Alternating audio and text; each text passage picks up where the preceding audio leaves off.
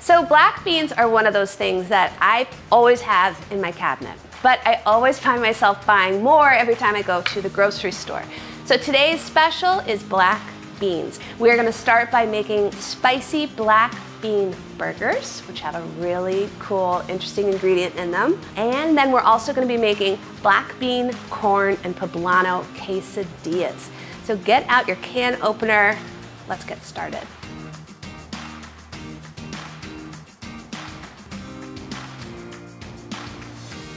All right, so we're gonna start with the sauce. And the sauce is a combination of some mayonnaise and some pickled jalapeno brine. And we're also gonna use some of the jalapenos as toppings for the burgers. And I always find that the brine for pickles or jalapenos, stuff like that, is definitely a secret weapon because I like to um, use it as, part of my seasoning for potato salad. Like when the potatoes are just coming out of the pot and they're super hot, um, I like to pour a little bit of pickle brine over them at that stage, and it just helps to give them like a little extra layer of flavor. Now I'm just gonna take some of the brine and give it a good little mix. I'm gonna set these aside and then I'm gonna go grab my food processor and a few ingredients. You wanna grab some, here's the spoiler alert, tortilla chips, because that's gonna help bind the burgers together and it's gonna give it that really good toasted corn flavor. Um, and you're also gonna wanna grab black beans. Go ahead and drain and rinse them. And you're gonna need an egg, some chili powder, salt, and pepper. Again, this is gonna be the binder, part of the binder for the burger. So we're gonna use this and an egg to help everything kind of stick together. But this is great because not only is it adding a little bit of extra salt, but it is adding that really good toasted corn flavor. Process this until finely ground, which will take about a minute.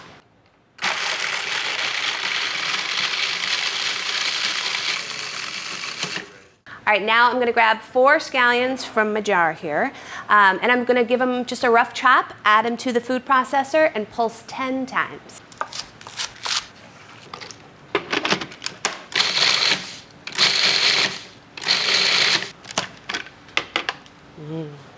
I drained and then rinsed these black beans earlier, which is very important because there's a lot of extra stuff um, sometimes that can be hanging out in the cans. Now they're nice and clean black beans for our burgers. So I'm gonna add that directly to the food processor.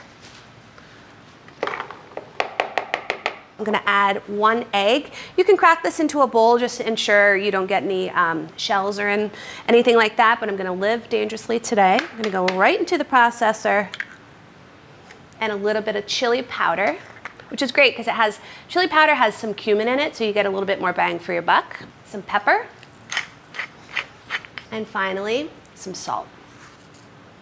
All right, so now I'm gonna pulse this for about 15 pulses until the black bean mixture is finely chopped. So you want it to be pretty smooth, but a little bit coarse, just to give you a little bit of texture in the burger.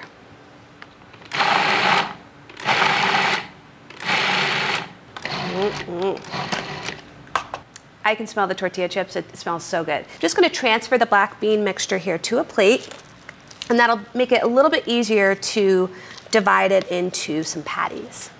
Sort of looks like a science experiment at this point. It's not. Divide it evenly into four portions. And now you just get your hands in there or have some helpers help you at this point.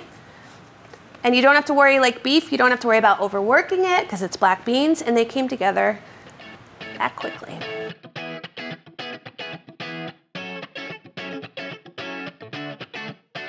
Dan, check it out. Four patties have been made.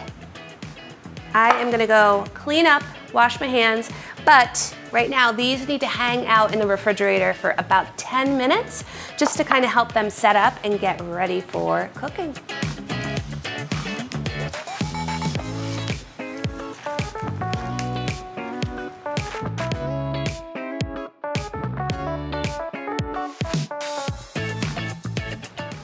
All right. So again, that was 10 minutes that these were in the fridge.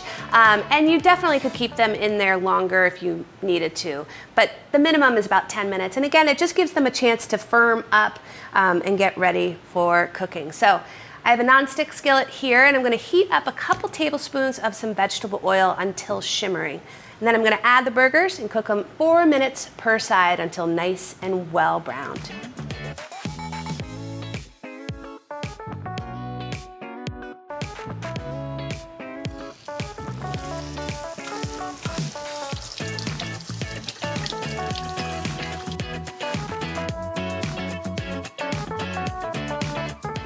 Perfect.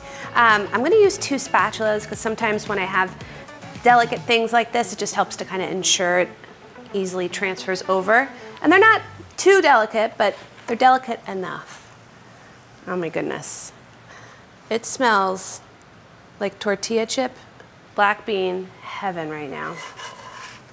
It's sort of scary how much these look like regular burgers, but um, I just wanted to mention, so I went ahead, sliced some tomato. I've got my jala pickled jalapeno slices from earlier. I have some butter lettuce there, and then I went ahead and took that mayo mixture with the pickled jalapeno brine, and I just put that on the buns. So now, I think we should assemble these and eat. Oh my gosh, looks so good. It looks like a burger, but it's black beans. Okay, let's let's tuck in.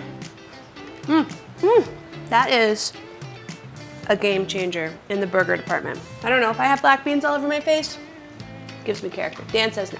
I'm excited for you to try this one, but before you go anywhere, come on back because we are gonna go make a black bean, corn, and poblano quesadilla.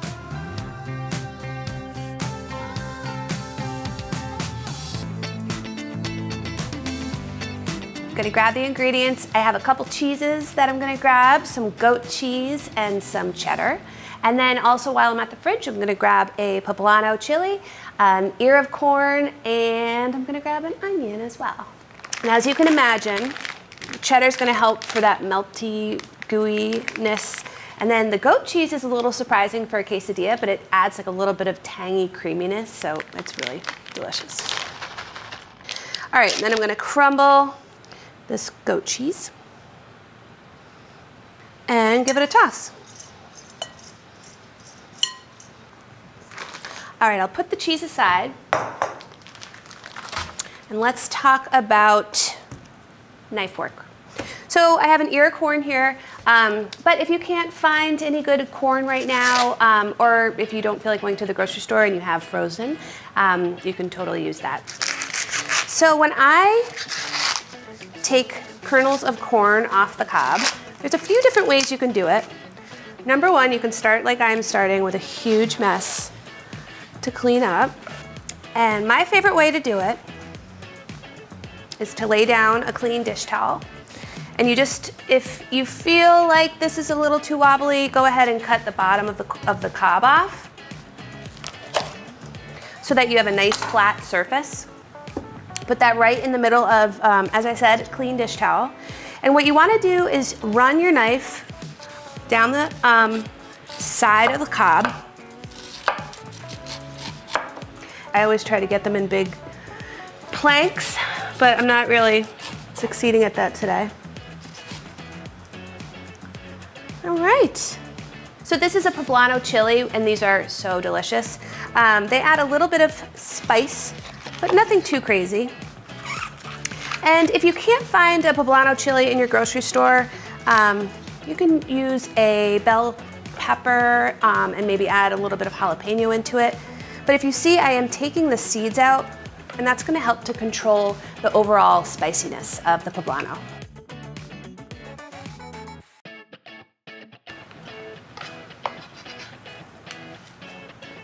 Um, I have just a regular old onion here. If you had a white onion, if you had Vidalia or red, use that. And we're gonna finely chop the onion. So what I like to do is take the stem off, keep the root intact, and peel the outer layer of paper off. Now we're gonna finely chop it. So what I like to do is I like to slice horizontally first. You wanna take the palm of your hand with your knife parallel to the cutting board. You're gonna make long slices. Then, going in the opposite direction, run your knife across the onion. All right, and then using this part of your finger, whatever that's called, knuckle, you use that sort of as your insurance. And you use the blade right here, kind of against that, and you make a claw. And go slow here, you don't have to go fast. Culinary school, we had a teacher, oh, he drove me crazy. Um, but he would walk around, I'd probably get like a C minus for this, but he'd walk around after we were done prepping our veg and he would measure this and he would make ridicule you and make fun of you in front of the whole class. So that was fun. Okay, professor. That one's a little bit better.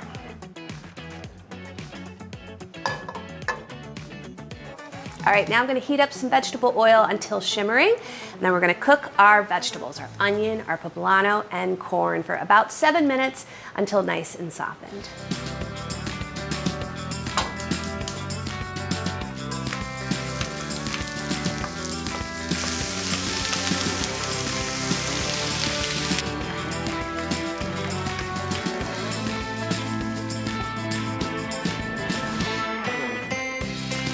All right, so the vegetables are nicely softened and they're starting to brown.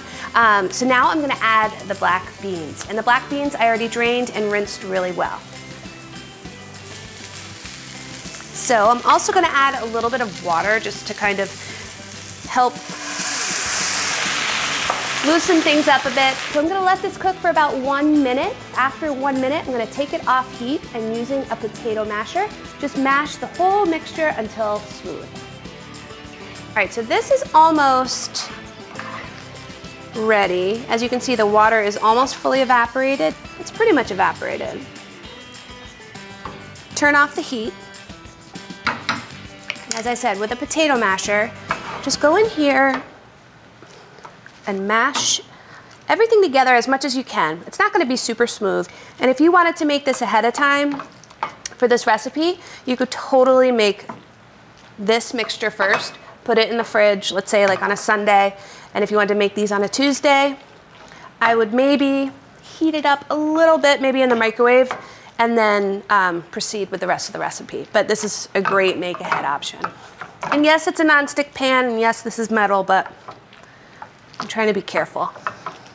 So I have some 10 inch tortillas, and I'm gonna grab four of them and put the filling, do a quarter per tortilla.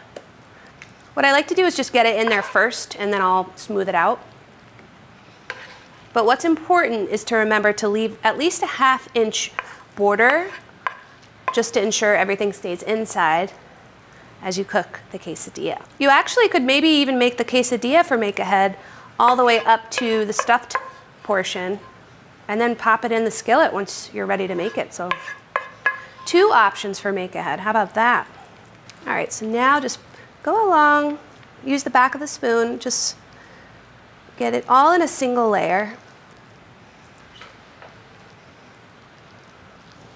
I do want to mention, we're going to use that skillet again. Don't put it in the sink. So now, divide the cheese mixture evenly over the bean mixture and just sprinkle it right on top, being sure to leave that same half inch border. Take the other half, Tap that and press down a little firmly, but you don't want to do what I just did and have the filling pop out because that's what I was just saying not to do. All right, so we're almost done. I'm gonna heat up some oil and we're gonna cook the quesadillas two at a time until golden brown, flipping them after about a minute or so.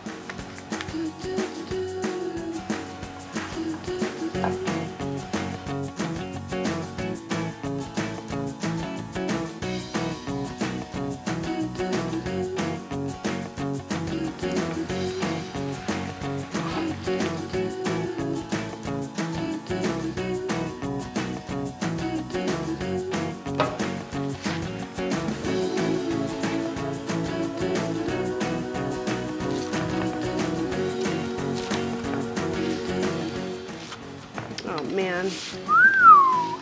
Also, like if you had Monterey Jack on hand, you didn't have cheddar cheese, feel free to substitute what you have. Just make sure one of the cheeses is melty and one of the cheeses is creamy and tangy. I'm gonna grab a board. I'll arrange them, saving one to try, obviously. And other things you could put on the board would be like some cilantro, um, leaves, some lime wedges, stuff like that. All right, I'm gonna go in. Mmm, that goat cheese, that's money. This is so delicious. The poblano, it's so good. You know it's there, it's not too spicy. And the sweetness from the corn and the black beans, I mean, you can't go wrong. I hope this has gotten you out of your black bean wheelhouse and hopefully you can try these recipes for spicy black bean burgers and black bean corn and poblano quesadillas. I'll see you next time.